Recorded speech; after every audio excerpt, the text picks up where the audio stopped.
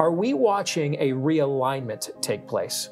An understanding that, yes, big government's a problem. Yes, big business is a problem. They're the same problem. The we Buffalo Bills player. Mm-hmm. Uh, you saw how quickly they already had the excuse, right? I mean, that is a, a, a small object, high speed, in an unprotected, probably young chest. That's not what this was. And yet, again, what we're up against, the COVID cartel, they were so prepared for that eventuality because they anticipated it. So again, anyway, my feeling on it is that that doesn't matter. You don't have the right. It's it's still experimental use vaccines. If you want to use the term vaccine, you don't have the right to force. You don't have the right to coerce it.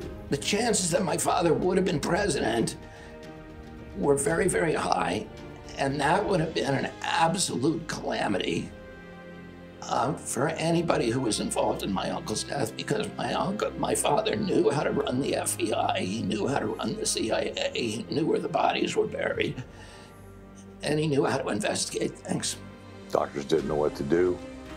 Uh, he sent her home, uh, saw some neurologists.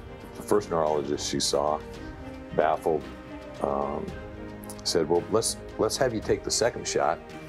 and see how that goes. and and she laughed. She thought the doctor was kidding. So not only did tour, tourism, I mean, tourism was shut down, and I was mandated by the government that I had to shut my doors. I can't, I can't do anything. I can't make money. I can't pay my employees. Uh, it, I mean, it's, it's an economic death sentence.